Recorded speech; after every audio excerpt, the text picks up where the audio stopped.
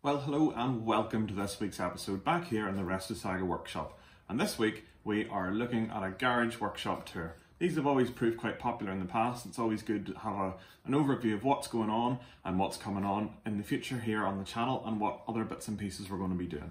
So we're starting to start off with the Land Rover, then look at the Toylander and some other bits and pieces that are going on in the background and have a wee chat about future projects as well.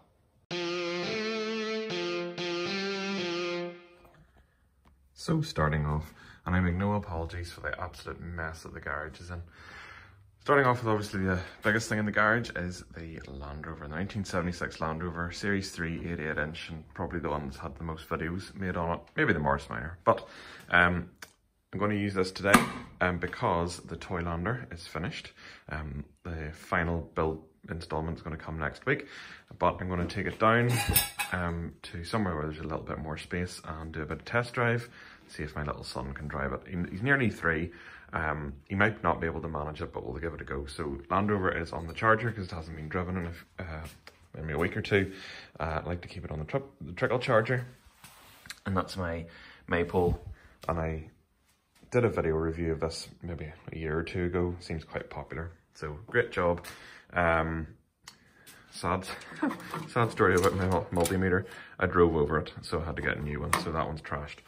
Um, so, while since I made one of these videos really looking at the garage, but since then I have done the full front end rebuild of axle suspension, put the freewheeling hubs on there.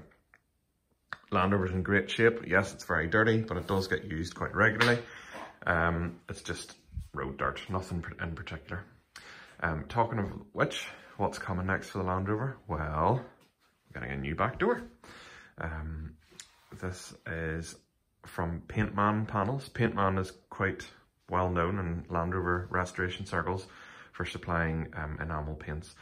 And he seems to do really good work with the paints, although I haven't used any of those yet, but I do use his panels. And this is the first one I've got. So really excited to get stuck into this one. Um, it's brand new and it's made seems to be made to very high specifications. Come th through in etch primer. Um, it's in good shape, although the courier did put a little bit of a dent on it, but that's okay. The rest of the Land Rover isn't perfectly arrow straight, so I can, I can live with that. And brilliant customer service from Paintman themselves. They did offer to replace it or refund it.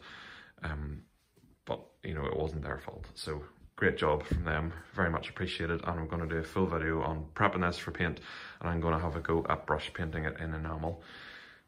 Um, it's going to be done in the same colour as the toy Toylander, which is the original colour that the Land should be, which is lime, limestone or RAL1015 is what I've been using um, as the sort of closest equivalent. So Land Rover's going to get fully repainted and I know I've been talking about this for ages, but I'm going to bite the bullet and just get on with it. So the first panel I'm going to start with is the door and then probably the roof and the side panels because they're easily removable. Um, the rear tub needs quite a lot of work. It needs a brand new floor put in it. Um, I may have shown this before, but if you look down here, these little struts have all popped off and the struts were new.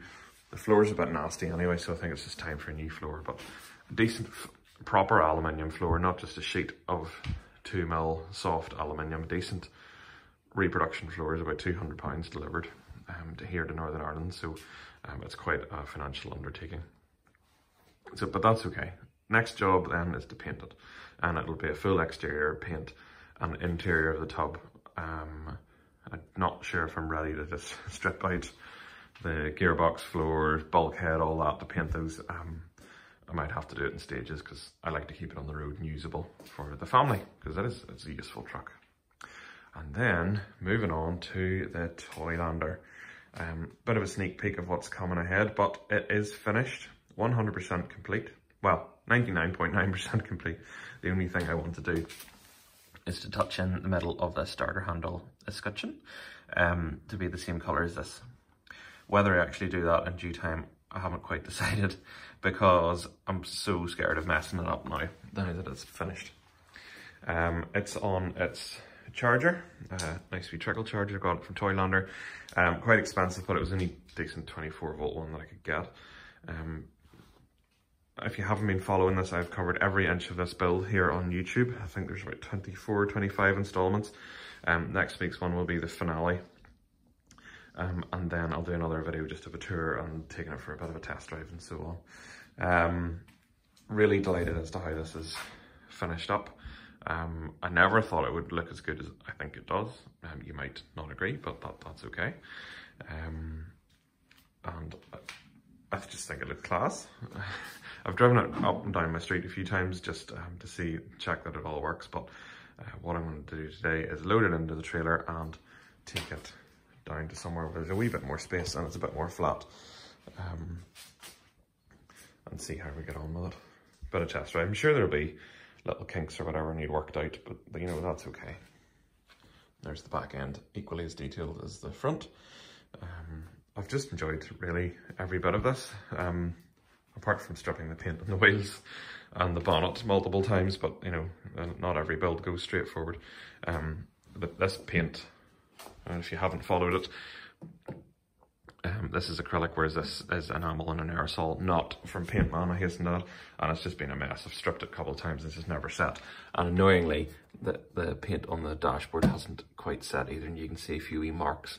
Um, I was going to touch them in, but now I'm a wee bit on the fence again as to whether I'm going to start into that nonsense.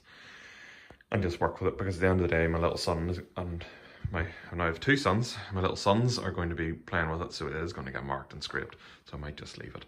Um, I'll delay that decision-making process.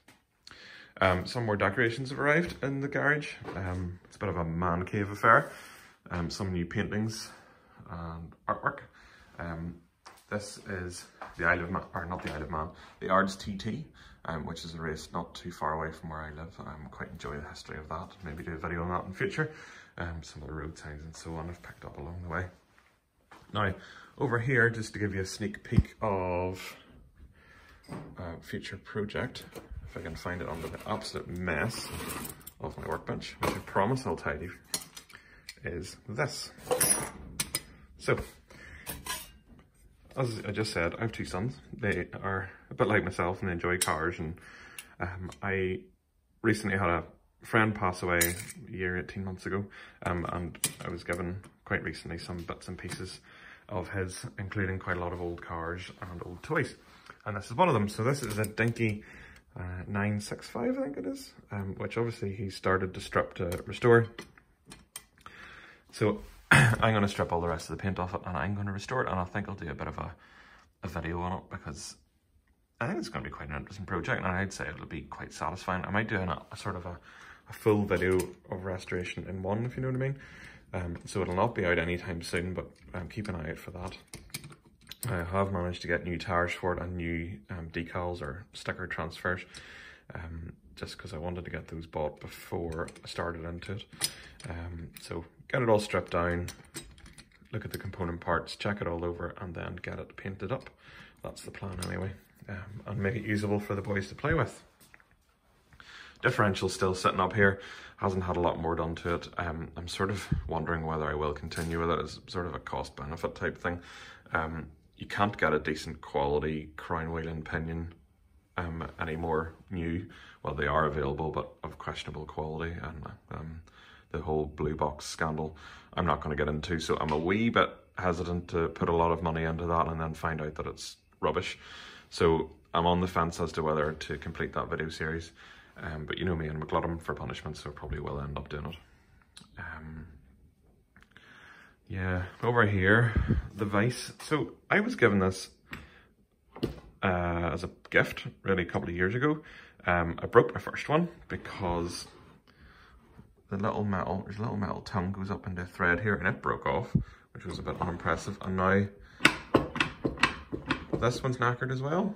So not exactly top marks for Clarke. Um, it's, it's, pretty rubbish to be honest for looking like it's so heavy duty. It's pretty terrible. So I'm actually hoping to repair it. These little sort of lock turn turn locks here to stop it spinning are broken down inside so I'm gonna have to take it off the bench turn it upside down and see if I can get someone to machine it for me and speaking of machining yes I still want my own lathe because over here I want to get really get stuck into the three and a half inch gauge Highland Lassie live steam engine um, this seems quite popular and I, I made a video on this I'll try and put a link up above um, I think it looks a really cool project and it's a really nice thing just sitting there, but I feel it's such a waste because the man who put so much work into it, um, it's not finished and trains are meant to move. They're a, a machine. So I want to get on with it. I want to, I want to see it done. Um, it needs a boiler, which is going to be significant expense. It's probably out with my abilities. Well, yeah, it is out with my abilities. Um, but I would also need a lathe and a lot of machine tools. So yes, it's a long-term project, but if I do get stuck into it, you can be sure that I will cover it here on the channel because I'm sure you'll all enjoy a bit of lathe and machining action watching me make an absolute tube of myself um, on video because you know I like to share my mishaps as well. Um, other than that, not a huge lot else going on here in the garage. Um, there are some other bits and bobs needing done and I'll have a chat to you about those at the minute, but up until then, I think the place just needs a bit of a tidy. Um, so typical, you get towards the end of a project, you just want to rush on and get it done. So yeah, let's have a chat about what else is coming along. Oh, here. That's what else. So in the line with those little dinky cars, um, this is one I started a while ago. Um, this is a Matchbox Lesney. Um, and I think it's, as far as I remember, it's a Hillman.